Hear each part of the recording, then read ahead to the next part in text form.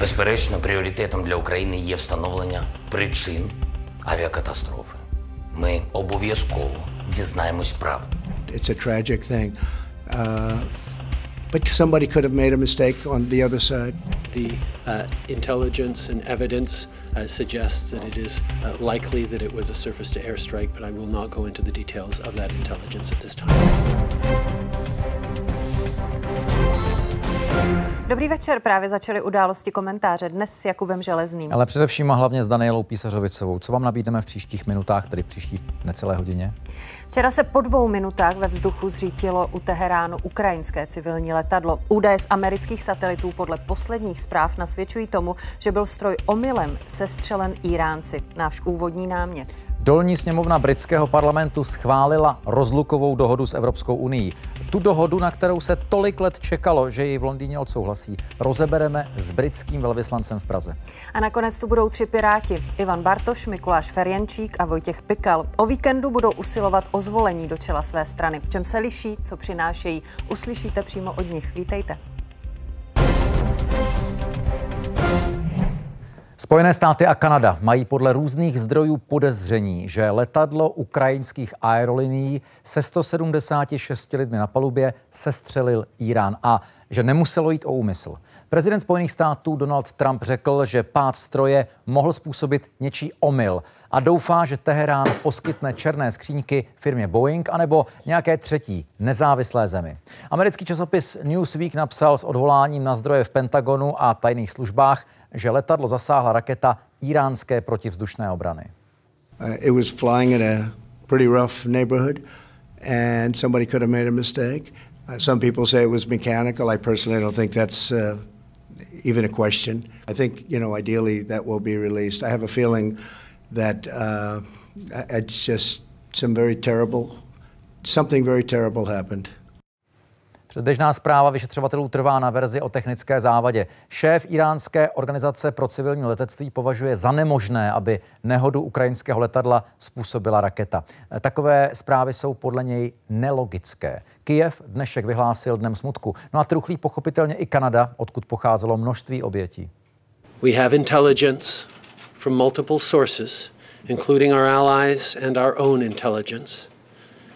The evidence indicates that the plane was shot down by an Iranian surface to air missile. This may well have been unintentional. Je pense aux victimes et à leurs familles. Je pense aux communautés qui pleurent leur perte. Ce qui s'est produit hier est une tragédie qui a non seulement choqué le Canada, mais le monde. Zdravím našeho ve Spojených státech Prezident Trump byl ve svém vyjádření relativně opatrný, troufám si tvrdit, snad by se neurazil, pokud se dívá na události komentáře, že nezvykle opatrný na to, jak občas bývá ostrý. Eh, premiér Trudeau naopak eh, byl méně zdrženlivý. Nakolik jsou si tedy americké a kanadské úřady jisté, že ukrajinský letoun se střelili Iránci? Je to jistota a pokud ano, tak z čeho vychází?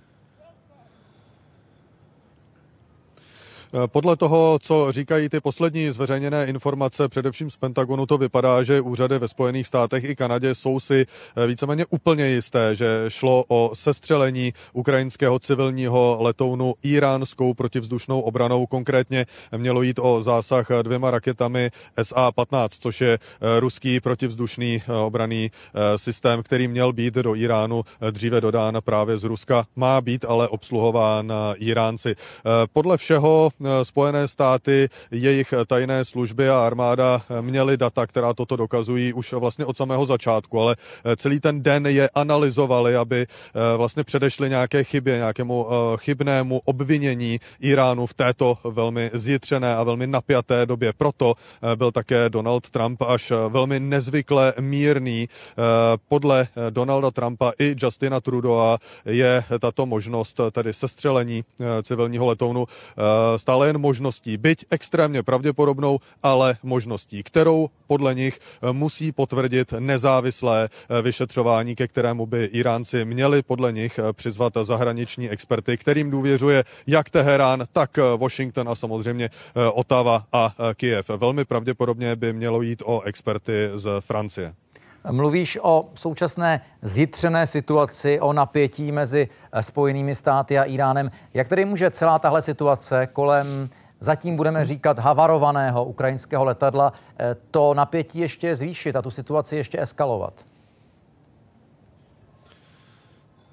Samozřejmě to může přinést obrovské otřesy. Smrt 176 civilistů, naprosto nevinných lidí, velmi pravděpodobně úplně zbytečná smrt, která, jak teď zaznívá z úřadu tady ve Spojených státech, ale i jinde, velmi pravděpodobně vznikla prostě lidskou chybou nějaké posádky toho protivzdušného raketového systému, která v, ve velmi zjitřené chvíli, kdy Irán odpálil své rakety na americké vojenské cíle v Iránu, Iráku eh, prostě neudržela nervy na úzdě, měla podle všeho pocit nějakého ohrožení a vyhodnotila špatně údaje, které se k ní dostaly a eh, namířila rakety na eh, civilní letoun, který startoval z teheránského letiště. Toto všechno jsou ale stále jen dohady, možnosti. Musíme si počkat na nezávislé vyšetřování. Iránci, jejich úřady tvrdí, že k tomu prostě dojít nemohlo, že to není možné, že piloti tohoto letounu se snažili vrátit na letiště a to by v případě eh, sestřelení podle nich nebylo možné. Podle nich to tedy jasně ukazuje, že ten letoun měl nějaké vlastní technické eh, potíže, které se piloti snažili řešit. Bohužel se jim to ale nepodařilo. I to je ale jedna z možností, kterou by mělo dříve či později vyvrátit či potvrdit oficiální nezávislé vyšetřování. Další detaily k tomuto tématu doplní Miroslav Karas, zahraniční zpravodaj České televize v Rusku. Dobrý večer, Miroslav. Dobrý večer. Ukrajinský prezident Volodymyr Zelenský už dříve v televizním projevu vyzval, aby se lidé v souvislosti se středečním pádem ukrajinského civilního letounu neuch- neuchylovali k uspěchaným závěrům, spekulacím nebo konspiračním teoriím. Platí to i dnes po té, co jsme slyšeli tyto nové informace? Eh, platí. Eh, na to, že eh, Ukrajina vydala prakticky v prvních minutách po neštěstí zprávu, že šlo o technickou závadu, později se eh, už dále na toto téma nevyjadřovala, tak dnes večer eh, prezident Zelenský nejenže se setkal s pozůstalými obětí přímo v Kijevě, přijali v prezidentském paláci, ale účastnil se i zasedání večerního štábu, kde znovu zopakoval slova, že nelze podlehat spikleneckým teoriím možná i právě proto eh, šéf, eh, tajemník Rady národní bezpečnosti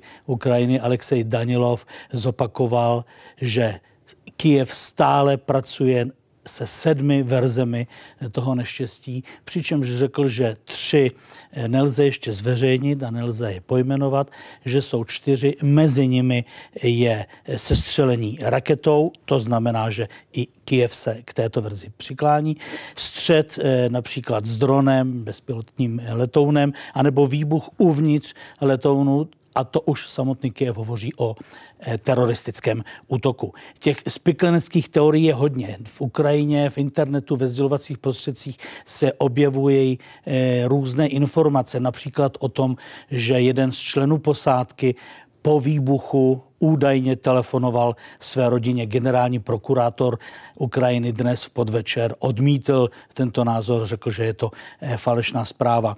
Eh, je to zcela běžné, že po těch katastrofách, sám si pamatuju, ať už Smolensk nebo sestřelení MH17 v těch prvních hodinách eh, vyšetřovatelé jsou pod jistým tlakem právě těchto spikleneckých teorií nezávisle, nehledě na to, v které zemi k tomu neštěstí došlo. Pokud by se ale potvrdila varianta, že byl letoun opravdu sestřelen, co by to znamenalo? Znamenalo pro Ukrajinu? Jaké by to mělo dopady, důsledky? Ukrajina samozřejmě by trvala na eh, vyšetření eh, celé záležitosti. Trvala by na tom, aby jejich vyšetřovateli, kteří už odjeli na místo, jejich tam 45, eh, opravdu měli přístup například i k zápisům na černých skřínkách. Je poškozena ta černá skřínka. Ukrajinci dnes večer sdělili, že budou chtít už zítra pracovat. Iránci jim na to odpověděli, že mají dostatečné technické zařízení, aby mohli odkódovat všechny údaje, ale současně přiznali, že kdyby se jim to nepodařilo a Ukrajina s tím souhlasí, tak by černou skřínku předali buď do Kanady, anebo eh, do Francie. Pro Ukrajinu samozřejmě jde o především o jednu o jednu hlavní věc a to je jednak identifikace obětí, ale vysvětlení eh, celé té tragédie, jak k ní došlo. Americké vládní zdroje tvrdí podle světových agentur, že Iránci použili rakety Tor ruské provenience. O jaký typ zbraní se jedná? Ano, je to raketa, nemýlím se ještě z období Sovětského svazu z 80. let. Eh, údajně šlo o raketu eh, Tor M1. Je to zhruba, eh, její délka je zhruba 3 metry, šířka eh, 35 eh, centimetrů. Eh, Rusko podepsalo v roce 2005 eh, s Teheránem dohodu. V prosinci 2006 byla tato dohoda realizována a Tehera, realizovaná a Teherán obdržel 29 komplexů, že to nejde jen o samotné rakety, ale samozřejmě o mobilní zařízení a tak dále. 29 raketových komplexů a má je ve svém vybavení od roku 2006. Ty už si sám zmiňoval, že Ukrajina do Iránu vyslala 45 vyšetřovatelů. Kdybychom se mohli dozvědět nějaké závěry vyšetřování a co je to vůbec za tým, který tam uh, odjel? V tom týmu je 45 specialistů různých profesí. Mezi nimi například jsou i ti, kteří se zabývají DNA obětí. Jsou tam inženýři, experti, vyšetřovatele, kteří, a oni to neskrývali, když odjížděli z Kyjeva, jeli hledat části rakety. Už se hovořilo v prvních hodinách o tom v Kyjevu, že to mohla být raketa. Jeli tam, dnes přiznali, že se tím budou zabývat.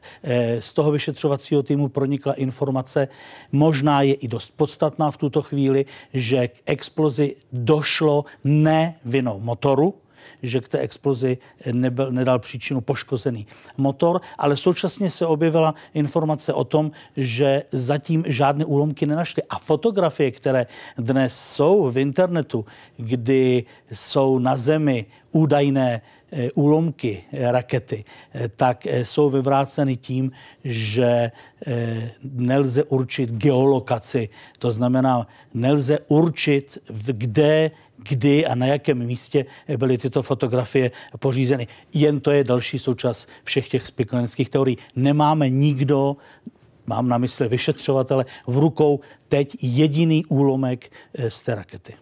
Zajímá mě ještě jedna věc. Co Rusko už se k celé té situaci nějakým způsobem vyjádřilo? Rusko je velmi zdrženlivé, nepovažuje to za případ, do, který by se ho bezprostředně jakýmkoliv způsobem týkal. Kreml vůbec nereagoval. Pouze reagují ruští experti, kteří opakují víceméně to, co před chvíli bylo tady ve studiu řečeno. Opakují slova šéfa letecké agentury Iránu, že je nemožné, aby tato raketa něco sestřelila, že je nemožné, aby vůbec se účastnila té operace a tak dále. Ale nicméně oficiální místa v Moskvě močí. A ještě velice stručně na závěr. Při podobných událostech je z pozice novináře samozřejmě zapotřebí to, k čemu uh, víceméně vyzýval ukrajinský prezident, abychom, se, uh, abychom nepodléhali rychlým závěrům a nějakým uh, senzacím. Jakým způsobem postupuješ ty, když informuješ o podobných záležitostech? Sledoval jsem události na východě Ukrajiny po MH17, stejně jako v roce 2010 po tragédii polského vládního letounu. Novináři mají velmi složitý přístup. Přicházejí okamžitě vyšetřovatele, kteří znemožní jakoukoliv práci. Základem všech, a nejen novinářů, je právě nepodléhat o něm spikleneckým teoriím, o něm nálezům, které nemají vůbec nic společného s tím místem. Veškeré ukvapené závěry opravdu jsou mnohdy slepou uličkou, je potřeba na to dávat pozor. Já sám jsem viděl ještě několik, když jsem tam byl třikrát několik týdnů po událostech na východě Ukrajiny při MH17 při sestřelení raketou Buk. Součástky několik týdnů a měsíců zapíchnutý motor v zemi. Je možné, kdokoliv k němu měl přístup. Hledání všech těch zdrojů je velmi složité, nicméně si myslím, že pokud se podaří opravdu odhalit černou skřínku, že se dostaneme k zásadním závěrům celé tragédie. Miroslav Karas byl naším hostem. Děkuji ti za to. Naschledanou. Do Česka se vrátí pět policistů, kteří působí na misi v Iráku. Důvodem je omezený provoz výcvikového střediska v Bagdádu po konfliktech mezi Spojenými státy a Iránem. Budou ale připraveni odjet zpátky. Čeští vojáci v Iráku zatím zůstanou. Washington obhajuje zabití generála Soleimányho jako akt sebeobrany. Napsal to Radě bezpečnosti OSN. Den poté satelitní snímky ukazují zničené hangáry na irácké základně Ain al-Assad, svědectví o přímé vojenské konfrontaci mezi Iránem a Spojenými státy. Ta prozatím skončila. Ceny ropy klesají a slovo opět dostává diplomacie. Do Bagdádu dorazil turecký ministr zahraničních věcí. Izraelský premiér jednal telefonicky s americkým prezidentem, vyslovil podporu Spojeným státům. Z monarchii Perského zálivu zase zní úleva a slova o nutnosti sklidnit situaci. Jenže to nebude lehké. Pro iránské milice v Iráku mají stále silný vliv. Ve středu večer dopadly do centra Bagdádu, nedaleko od americké ambasády, dvě menší rakety. Americká vojenská angažovanost v Iráku trvá už 30 let. Zatímco na počátku šlo o střed s iráckým diktátorem Husajnem, v poslední době je Irák jen zástupným bojištěm, na kterém se utkává Amerika a Irán. Právě kvůli dlouhé historii měření sil s Teheránem americká generalita mírní prezidentův optimismus. We have sent a powerful message to terrorists. If you value your own life, you will not threaten the lives of our people. Situace po smrti Soleimányho podle Pentagonu není uzavřenou záležitostí a nebezpečí nepominulo. Pozornost se ale také přesouvá z Blízkého východu na americkou půdu a z konfliktu v zahraničí se stává souboj na domácí politické scéně. Opozice i někteří republikáni v kongresu si stěžují, že nemají informace, proč bylo nutné iránského generála odstranit. Na jednání za zavřenými dveřmi údajně nedostali důkazy, že Soleimání právě připravoval nové útoky proti americkým cílům, jak tvrdí Bílý dům. Was probably the worst briefing I've seen, at least on a military issue, in the nine years I've served in the United States Senate. Demokratická strana se snaží omezit pravomoci hlavy státu v případě nasazení vojenské síly proti Iránu a protiváleční aktivisté svolávají na konec týdne demonstrace po celých Spojených státech. Situací se má zabývat i Rada bezpečnosti OSN. Washington vysvětluje raketový útok na Soleimányho jako sebeobranu. Iránský pohled chtěl prezentovat ministr zahraničí Javad Zarif, ale nemůže. Nedostal americké výzum. Z Blízkého východu David Borek a Spojených států David Miřovský, Česká televize. A v Iránu zůstáváme i s našimi dalšími dvěma hosty. Těmi jsou Veronika Vrecionová, europoslankyně za ODS. Dobrý večer. Dobrý večer. A na dálku zdravím i Ondřeje Veselého, předsedu sněmovního zahraničního výboru, místo předsedu ČSSD a místo předsedu poslaneckého klubu téže strany. Dobrý večer. Dobrý večer vám, divákům i kolegyni Vrecionové z Písku. Tak, tak e, zůstáváme, nebo respektive začínáme u tématu, o kterém jsem mluvila e, s Miroslavem Karasem. Americký časopis Newsweek napsal, že ukrajinské civilní letadlo zasáhla raketa Tor M1 ruské výroby. Odvolal se přitom na zástupce Pentagonu, americké tajné služby i irácké zpravodajské služby. Konec konců tuto informaci potvrdili kanadský premiér Justin Trudeau. Je to pro vás, pane Veselý, dostatečný důkaz, že by se takto opravdu mohla celá situace odehrát? Eh, určitě nemůžeme v tuhle chvíli říct, ale pan kolega Karas nebo pan reportér Karas popisoval správně, že by to byla neotřesitelná jistota. Nicméně eh, víme, že Justin Trudeau neříká věci nadarmo, není to žádný mluvka a eh, v tuto chvíli asi můžeme říct, že ta to, že došlo k takové nehodě, velmi pravděpodobné. V prvé řadě bychom asi měli vyslovit, nebo určitě měli vyslovit upřímnou soustras všem, všem eh, obětem, všem, všem, jim, všem jim pozůstalým.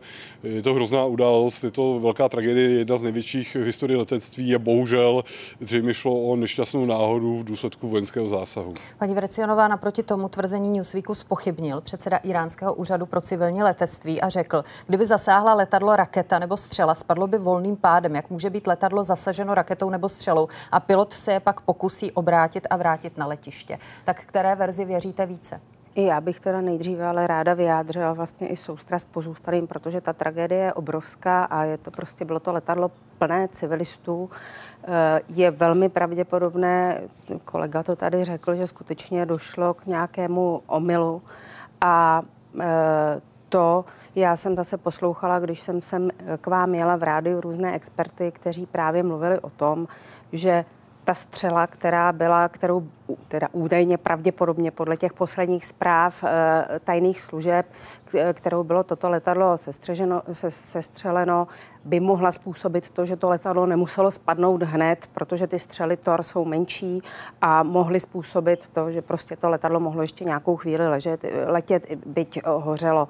Takže ty zprávy se zdají být pravděpodobně potvrzené, nicméně stejně bych doporučovala, abychom všichni počkali ještě na závěr uh, vyšetřování, ke kterému pevně doufám, že iránská strana uh, umožní tak, aby k němu došlo. I když se tu ve velkém zmiňuje, že se údajně uh, stal omyl, lze něco takového případně omluvit, paní Vracionová? Uh, tak letecké katastrofy se stávají. Já skutečně neumím posoudit, co se na Irán... Je evidentní, že to způsobila iránská strana.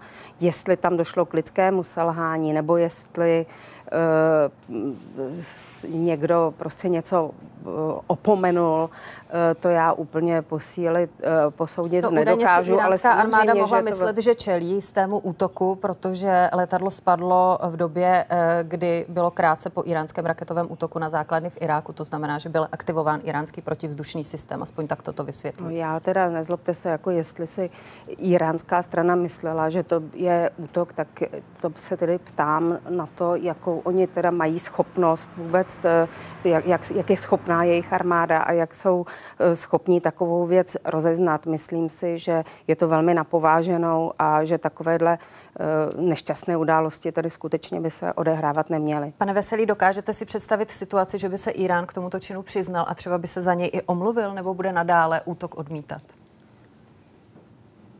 Eh, tak já hlavně předpokládám, že Irán skutečně umožní v této chvíli ukrajinské straně, případně i dalším stranám, kteří, které měli na palubě letadla své občany, aby se zúčastnili proskoumání té havárie, respektive její vyšetření, což by byl první střícný krok. Asi, asi nemůžeme čekat úplně omluvu, byť by byla samozřejmě na místě, nicméně omluva také znamená následné, následné satisfakce a to bude ze strany Iránu určitě problém.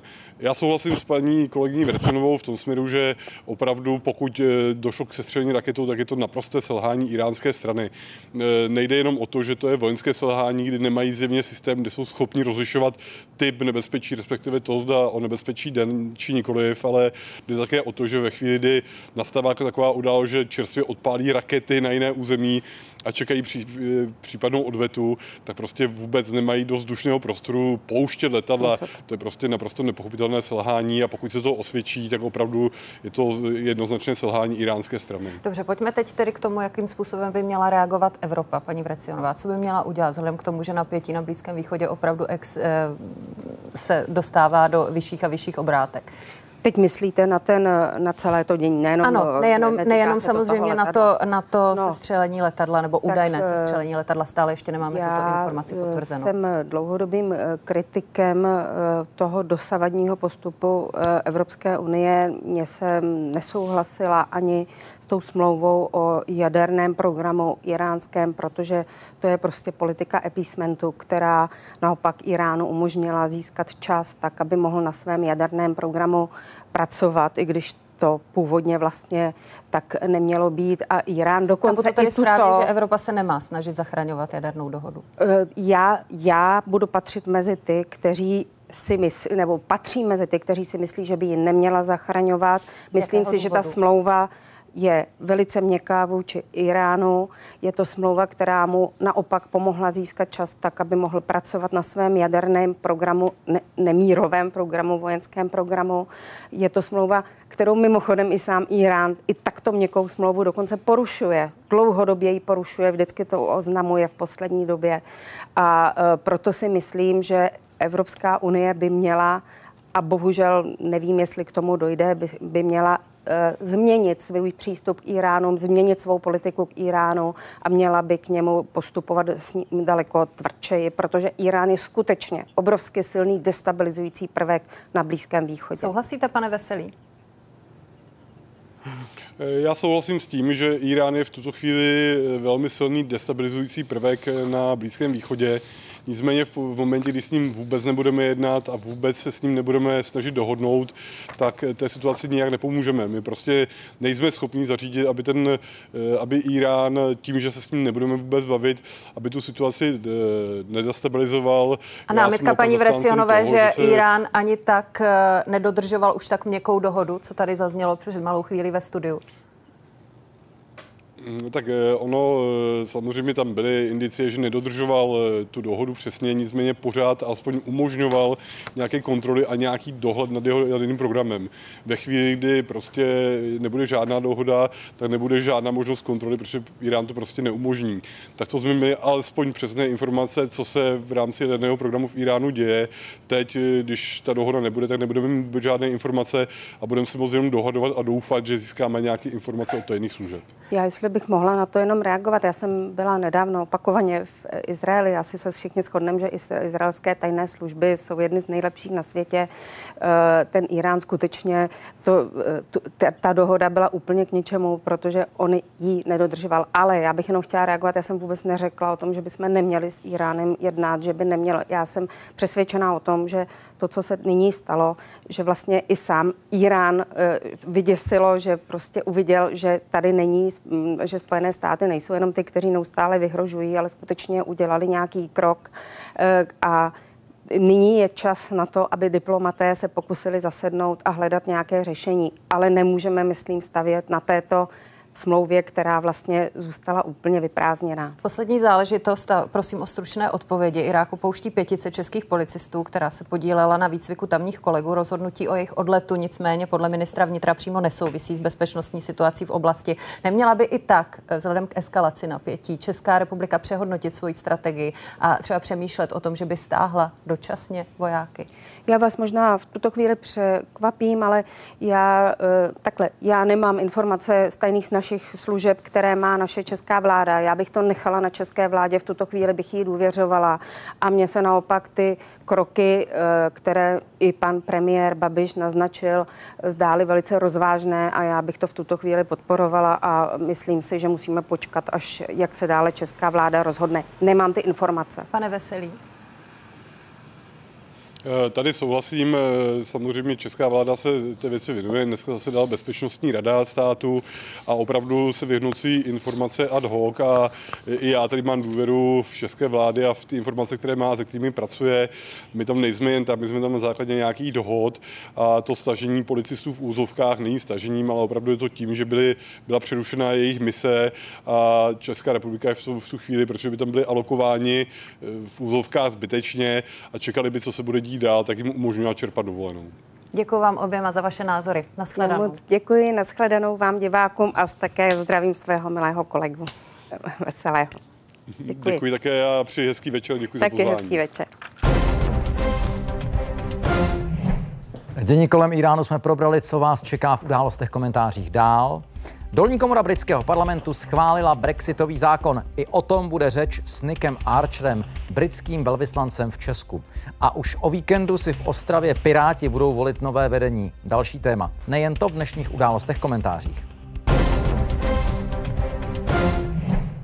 Nezaměstnanost v Česku stoupla, zatímco v listopadu byla na úrovni 2,6%, v prosinci to byla 2,9%. Bez práce bylo přes 215 tisíc lidí, což je nejnižší prosincová hodnota od roku 1996. To vyplývá z údajů Úřadu práce. Podle ekonomů by měla míra nezaměstnanosti dále růst.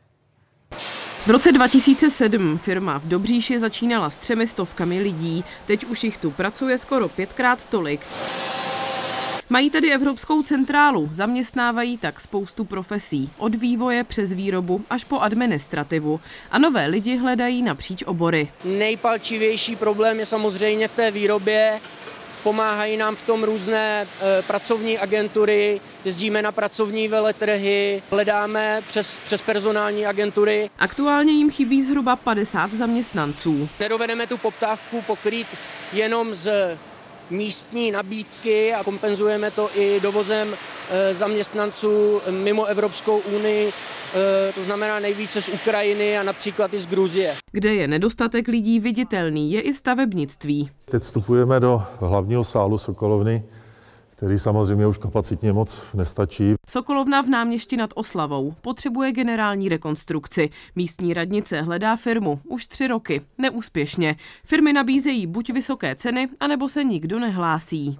Tam se nám přihlásili v tom čtvrtém kole dvě firmy, věnovali se tomu, Nicméně ta cena nám vylezla až přes 80 milionů korun. Oproti rozpočtu, kde bylo 60 milionů korun. S tím samozřejmě souhlasit nemůžeme. Firmy mají kapacity poměrně naplněné ale také, že pro řadu zakázek, které by pravděpodobně chtěli realizovat, jim začínají chybět kapacity výrobních faktorů. Potvrzují to i developeři. Nedostatek lidí jednoduše prodražuje a prodlužuje stavby. Aktuálně připadá na jedno pracovní místo v průměru 0,6 desetin uchazeče a situace by se neměla nijak dramaticky měnit ani letos. Očekáváme pouze mírný nárůst eh, míry nezaměstnanosti v České republice a podle našich odhadů eh, česká míra nezaměstnanosti zůstane nejnižší v celé Evropské unii. Některé firmy tak situaci řeší třeba robotizací. To ale není možné všude. Hlavně tam, kde je potřeba budovat vztahy nebo být kreativní, třeba v živém umění.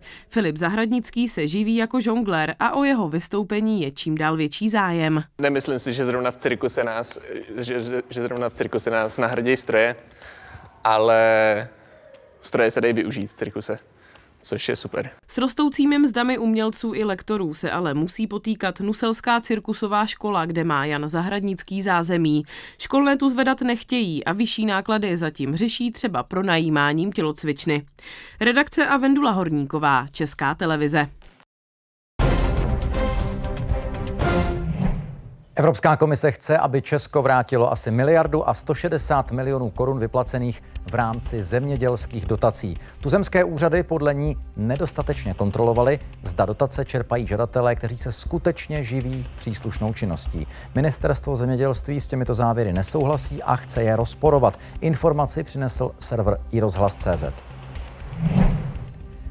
Proti důchodové reformě podle francouzských úřadů protestovalo po celé zemi přes 450 tisíc lidí. Příměstské vlaky, metro a autobusy jezdily jen omezeně. Stávkovali také učitelé, nevyšla většina deníků a práci přerušili i popeláři. Jednání odborů s vládou zatím nepřinesla žádné výsledky.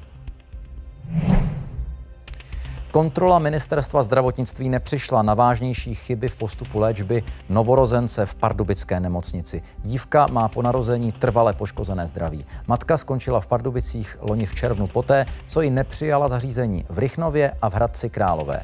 Právě odmítnutí rodičky Rychnovskou nemocnicí bylo podle ministerstva v rozporu se zákonem. Dolní komora britského parlamentu schválila prováděcí zákon k brexitové dohodě. To má umožnit, aby Spojené království opustilo Evropskou unii už za 22 dní, tedy 31. ledna.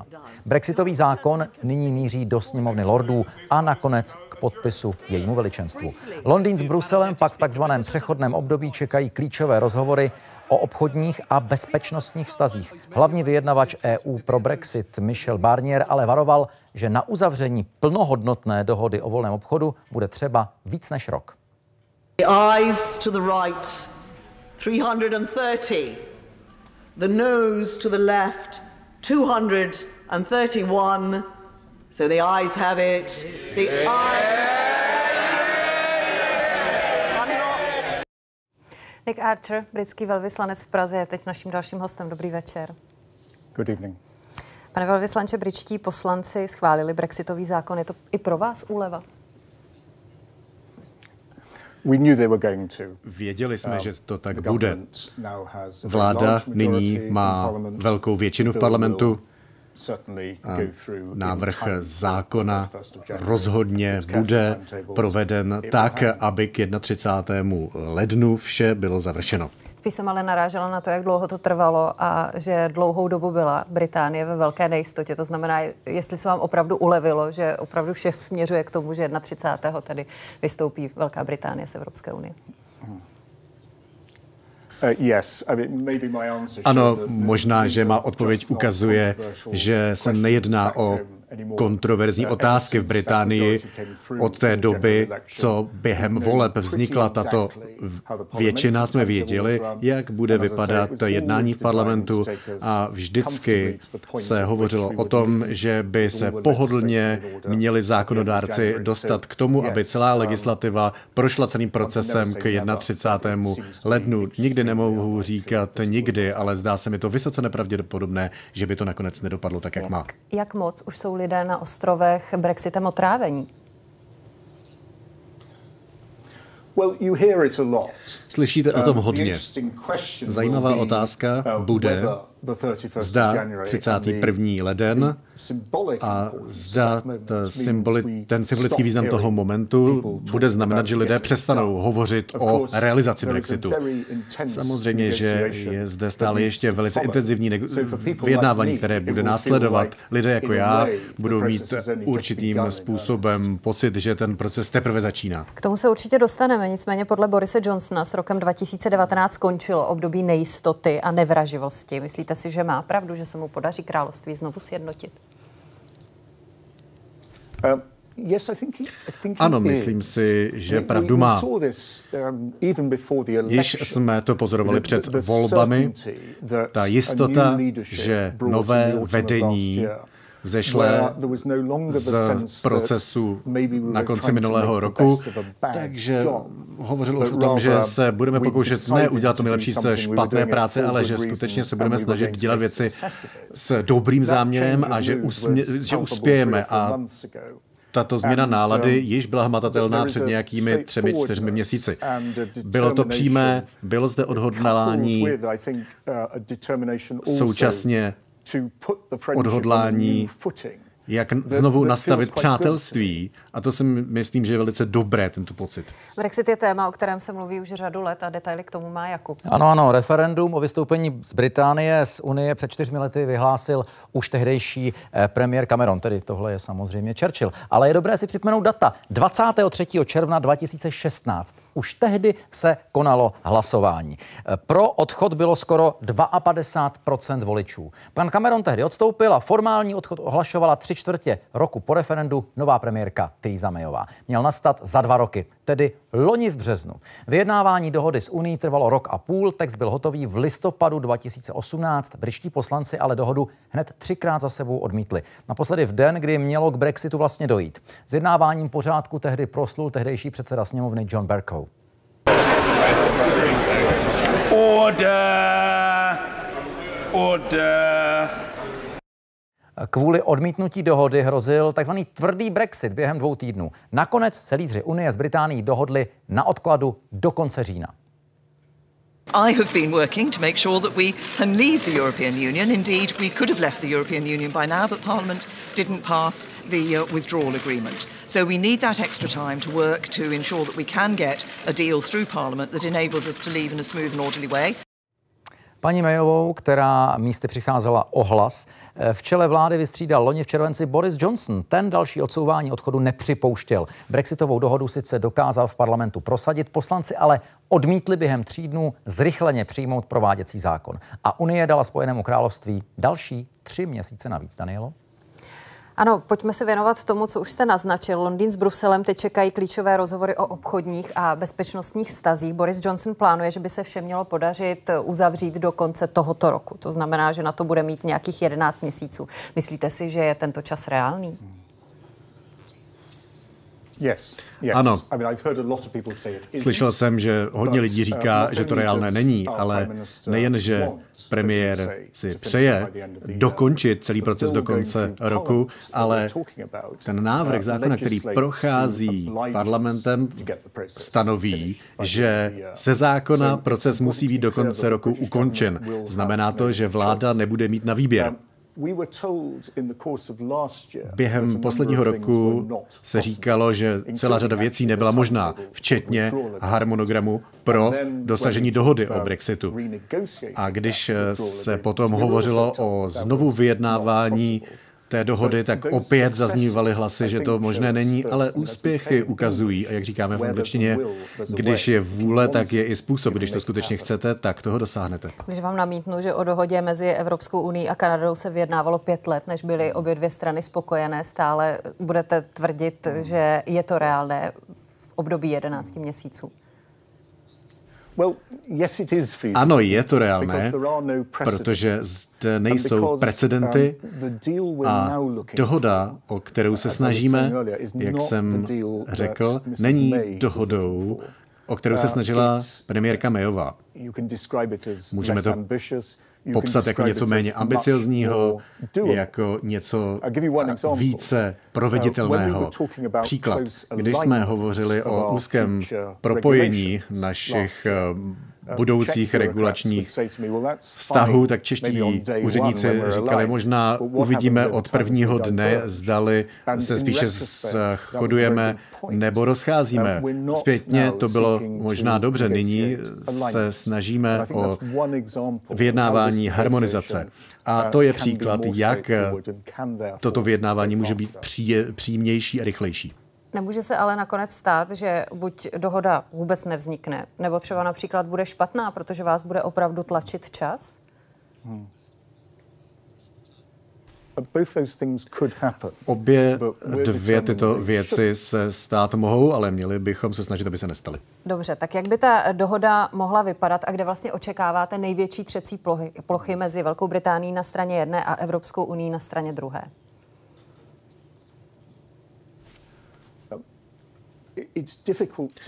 Těžko říct si, nechci uhýbat od otázky, ale jak víme, Evropská komise zahájila práci na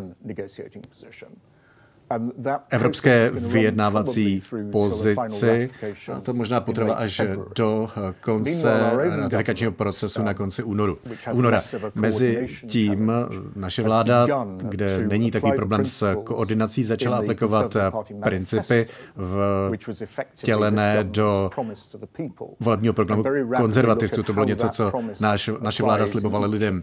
A teď vidíme, jak ty jednotlivé přísliby se používají v konkrétních oblastech, takže těžko těžko možná v tomto momentě hovořit, kde se můžou objevit třecí prochy, ale snažíme se o přímou dohodu o volném do obchodu, nesnažíme se o hybridní vztah s jednotným trhem. Hovořilo se hodně o tom, že některé oblasti se vyjednávají, jako například vnitřní bezpečnost. To je něco, co je důležité konkrétně pro vaši zemi. Můžeme pokrýt určité oblasti velice rychle, například vojenský rozměr, to půjde asi vyjednat rychle. Když to rozložíme, tak si myslím, že Vidíme dobře, kde by neměly být problémy, ale těžko odhadnout, kde se mohou na jednu nějaké problémy vynořit. Velice ještě stručně v Británii žije asi 3,5 milionu unijních občanů, mezi nimi 10 tisíc Čechů. Mají se něčeho bát nebo pro ně bude zajištěno eh, dostatečný prostor pro žití a odpovídající tomu, že tam strávili mnoho let?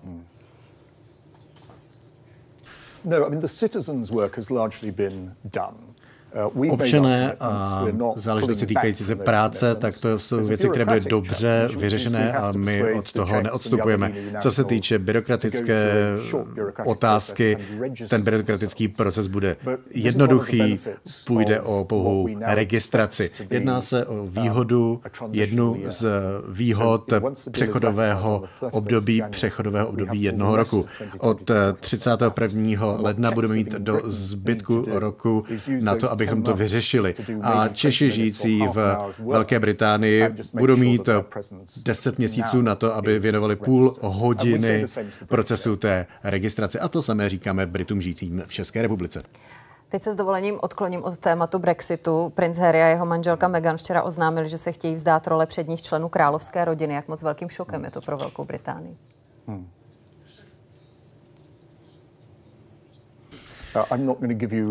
Já vám nebudu se um, vyjadřovat, nebudu dávat žádný názor k tomuto tématu, ale je důležité, aby lidé zde, lidé v Británii pochopili, že to vzdaní se role je taková zvláštní věc, protože kromě královny nikdo v královské britské rodině nemá žádné povinnosti vyplývající z toho, že jsou to členové královské rodiny. Samozřejmě je zde ústavní role, kterou musí hrát, ale pouze královna tuto ústavní roli má. Zbytek rodiny vlastně rozhoduje o tom, zdali se stanou pracujícím členem a budou se věnovat službě veřejnosti, anebo ne.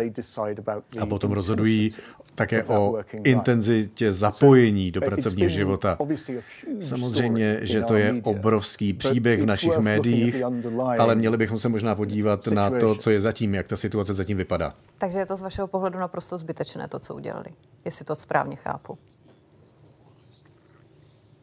Uh, to úplně nechápu, tuto otázku. Prostě udělili, učinili prohlášení, jak vidí svou budoucnost. Co říkám já, je, já znám členy královské rodiny, kteří byli velice aktivní a pak eh, se stáhli. Znám členy, kteří jsou skutečně privátními občany a existuje zde řada možností. A ne všichni si vyberou určitou variantu do nekonečna, když jim je 18 nebo 21 nebo 25 let. A jak se vám líbí termín Mexit, který se objevil v britských médiích? Myslím si, že to je strašné.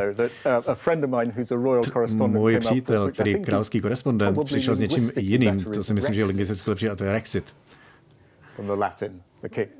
Protože king, latinský král, je Rex. Děkuji vám za rozhovor. Děkuji za návštěvu. Naschledanou. Okay. Děkuji za pozvání.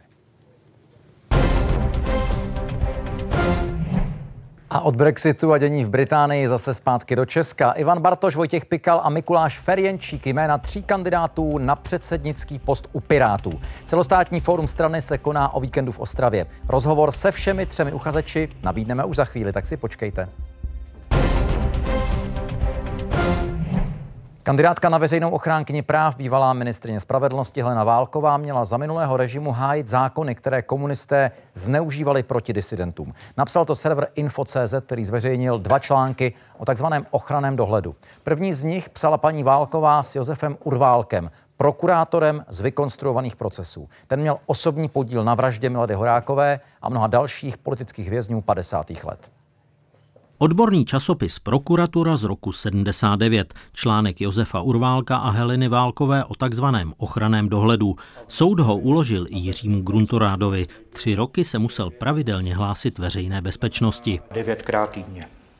Jste musel přijít? Tady... Jsem musel přijít a podepsat se u toho dozorce do knihy přesně. Helena Válková tvrdí, že o zneužívání zákona tehdy nic nevěděla. Potom jsme se dozvěděli všichni po roce 1990, že byl zneužíván i ve vztahu k politickým disidentům. Historik Petr Blažek jí nevěří. Máme k dispozici nejenom články z časopisu Prokuratura. Bývalou ministrině spravedlnosti, nyní vládní zmocněnkyni pro lidská práva, nominoval prezident na ombudsmanku.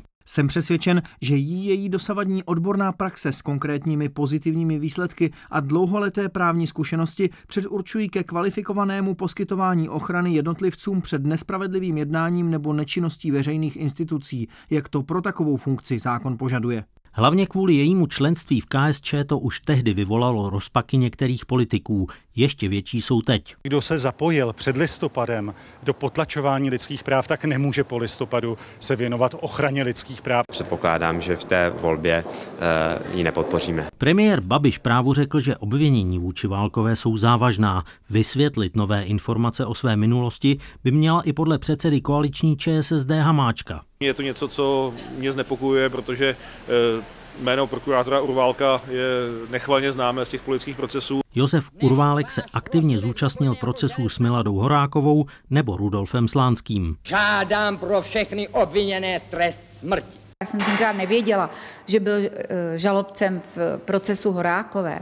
Eh, opravdu to jméno mi nic neříkalo. Studovala na právech, které bylo to poměrně krátce od Pražského jara, kde o tom Urválkovi se mluvilo hodně. Helena Válková zvažuje, že kvůli článku podá žalobu. Současné veřejné ochránkyni práv Aně Šabatové končí šestileté funkční období v únoru. Kromě Válkové, navržené prezidentem, by sněmovna měla ombudsmana vybírat i z kandidátů, které předloží Senát. Johana Šulcová a Ivan Lukáš, Česká televize. Piráti si na víkendovém celostátním fóru v Ostravě zvolí nové vedení. Šéfa strany Ivana Bartoše se pokusí vystřídat buď to Mikuláš Ferenčík, anebo Vojtěch Pikal, jeden ze dvojice poslanců. Dalších sedm kandidátů se hlásí o čtyři místo předsednická křesla. Piráti mají ambici letos nejméně z desetinásobit počet svých krajských zastupitelů, kterých mají od minulých voleb devět. A po sněmovních volbách by chtěli být i ve vládě. A pány máme ve studiu Ivana Bartoše, předsedu strany. Dobrý večer. Dobrý večer. Vojtěcha Pikala, místo předsedu poslanecké sněmovny. Dobrý večer. Dobrý večer. A Mikuláše Ferjenčíka, místo předsedu rozpočtového výboru poslanecké sněmovny. Dobrý večer. Dobrý večer. Tak pánové, jaké šance si dáváte, že se vám podaří obsadit post eh, Pirátů, předsedy Pirátů, pane Bartoši? Eh, tak já obhajuju předsednický post už po několikáté.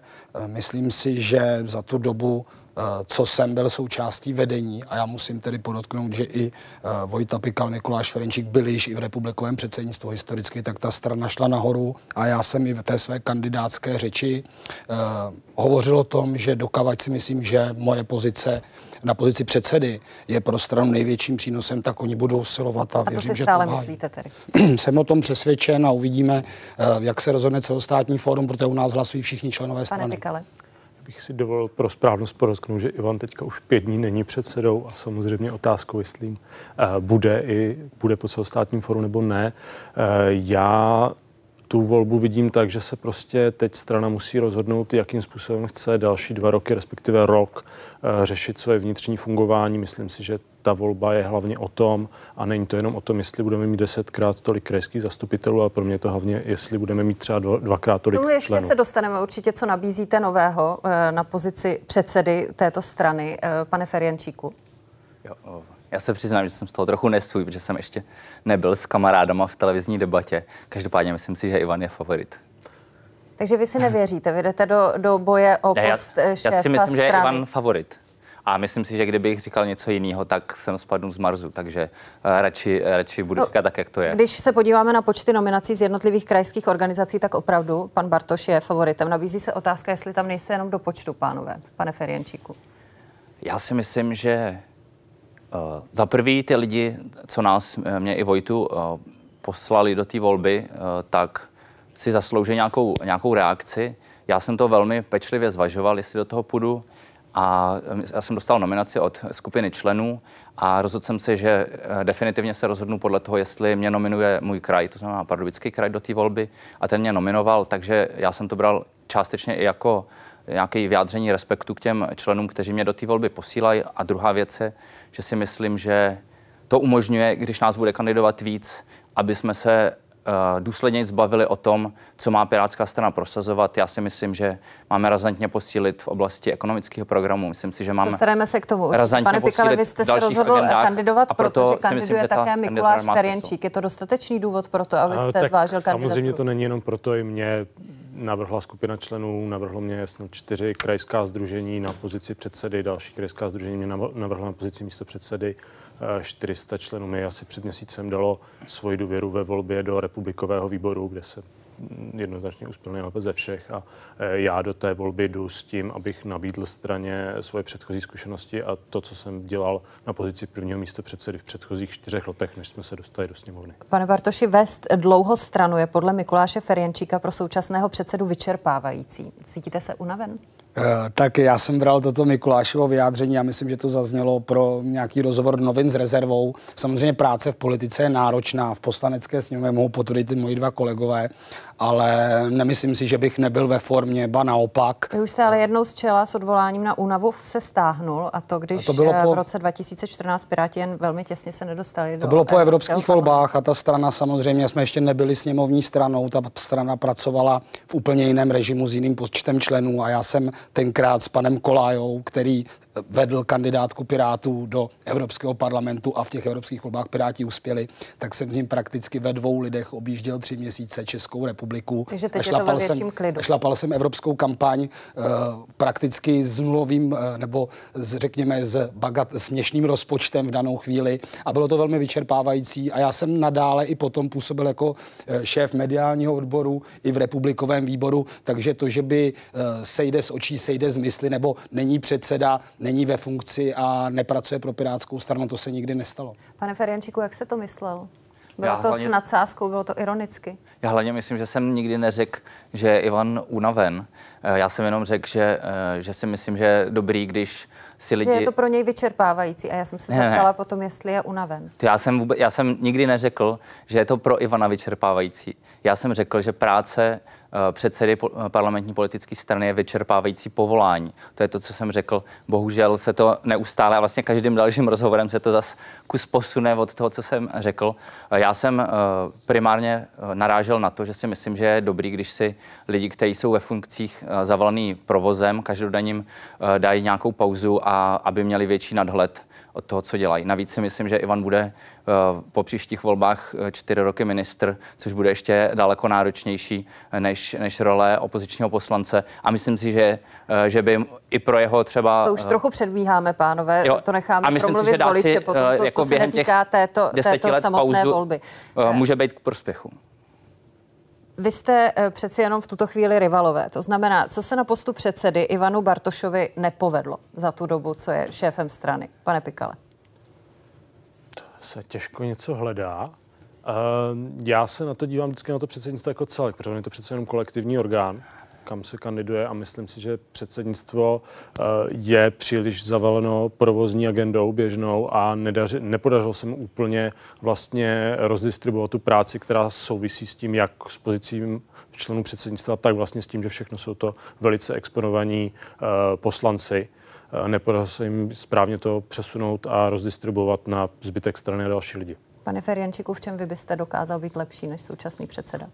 Já opakovaně říkám v rozhovorech, že hlavní Ivanova slabina je, že je jenom jeden a já si myslím, že, že je potřeba, aby, aby ta strana měla, uh, měla víc lidí, který zná veřejnost, aby ta strana uh, byla schopná oslovovat i třeba různé skupiny lidí a uh, uh, mě se ptali v rozhovoru, jestli, uh, jestli musí být každý pirát uh, potetovaný z dredy, tak já třeba nejsem ani potetovaný, ani nemám dredy. Takže prostě já si, já si myslím, že, uh, že je potřeba pěstovat nějakou různorodost v těch našich osobnostech a myslím si, že k tomu patří i to, že, že ty volby mu nenecháme zadarmo.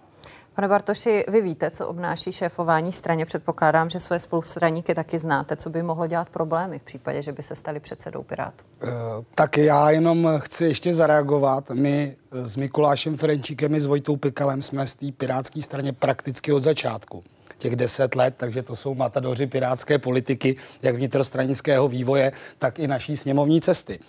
A jenom bych zareagoval na to, co tady zaznělo, možná i od Mikuláše. Já jsem to říkal i v té své řeči. Já jsem eh, dost často, a myslím si, že tam i musí ta strana vyrůst třeba v rámci regionů a krajů, jako jsem ochoten jít na velmi nízkou úroveň toho, toho managementu, na toho mikromanagementu, jet do nějakého města, když je tam nějaký problém a pomoct ho řešit. A to může být do budoucna, ta strana má dvojnásobek členů než po těch volbách do poslanecké sněmovny.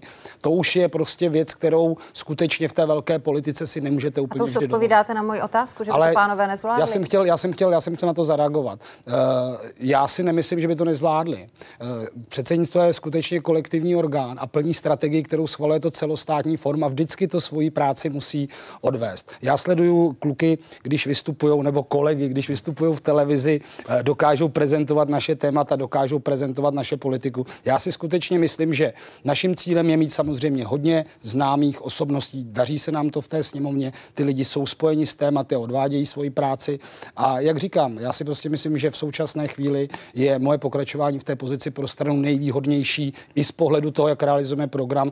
A proto jsem rád, že mám vyzivatele a věřím, že teda ve členské volbě zvítězím. Tak než se eh, dostaneme k tomu, co se Pirátům přeci jenom nedaří, alespoň v určitém období, tak mi prosím řekněte jednu věc, kterou budete chtít eh, zdůraznit, se kterou půjdete do volby předsedy strany. Co jste si vybrali jako takovéto hlavní téma, proč by vás měli lidé zvolit? Pane Bartoši. Eh, Já když opomenu to, že budou ty dvoje důležité volby v rámci toho mandátu krajské a potom sněmovní, eh, tak eh, je to ta iniciativa, která už probíhá, to je ten tlak na vzdělávání členů Pirátské strany stávajících a budoucích politiků a přesun i těch kompetencí do těch našich jednotlivých krajů, kde chceme uspět. My skutečně máme centrální týmy týkajících se všech rezortů a potřebujeme skutečně neustále pracovat a zdokonalovat eh, ty naše politiky, jak ve znalostech praktických, eh, tak i třeba v leadershipu, ve vedení těch týmů v krajích. Prostě ta strana dál poroste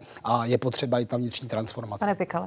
Tak pro mě jsou to asi dvě věci. Nastavit hierarchii a strukturu těch eh, rezortních a expertních týmů, které připravují tu politiku a potom eh, vlastně dotahovat různé změny a nasazování eh, různých technických systémů, které děláme a kde potom podle mě vznikají nějaké drobné nedostatky, které potom brání třeba zapojování lidí. Pane Ferjenčíku. Pro mě je hlavní priorita, aby jsme v pěti klíčových oblastech pro Českou republiku zpracovali skutečně komplexní plán, co chce Pirátská strana prosazovat a nabídnout občanům. To znamená, eh, ekonomická oblast, podle mě je potřeba daňová reforma, kde eh, snížíme daně pracujícím o 12 tisíc ročně pro všechny pracující v České republice. Eh, myslím si, že, že je zásadní řešení problematiky životního prostředí, to znamená nakládání s půdou, Dobře, říkala jsem jednu věc, že máte zmínit. No a já, já, já jsem chtěl, ne, ne, já, já jsem řekl, že chci v pěti klíčových oblastech uh, zpracovat komplexní plán a jenom jsem chtěl říct ty oblasti, to znamená ekonomika, sociální systém, zdravotnictví, životní prostředí a vzdělávání. V těchto pěti tématech zcela zásadní, aby jsme nabídli komplexní alternativu uh, pro to uh, zprávu téhle země. Tak, uh, Piráti se mezi sebou nicméně poměrně často veřejně hádají.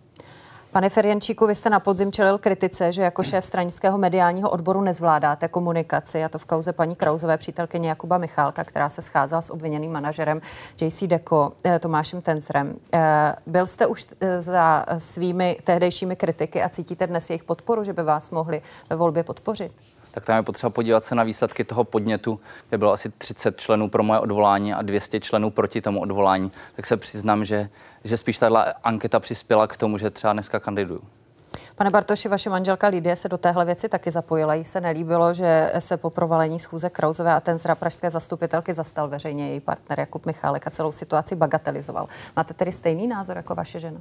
Uh, tak uh, já si myslím, že uh, ta věc na začátku nebyla Eh, komunikovaná úplně správně, ale vy jste eh, konfrontovaná v té reálné politice prostě z minuty na minutu. Eh, já jsem celou dobu působil jako mediátor v této, v této věci i potom to související návrh na odvolání Jakuba Michálka, který teda obhájil tu pozici místo předsedy. A za to jste rád? Tak eh, to není, Pirátská strana není žádná strana, kde je nějaký nadčlověk předseda. My skutečně máme fungující vnitrostranickou demokracii. Pokud se něco nelíbí členům, co dělá předseda, co dělá šéf odboru, nebo i třeba nějaký poslanec, tak se ozvou, ty věci diskutujeme. A já si naopak myslím, a vy jste tím začala, jako hádat se na veřejnosti. My prostě demokracie, diskuze, demokracie je někdy divoká diskuze, můžeme se podívat i na sněmovnu.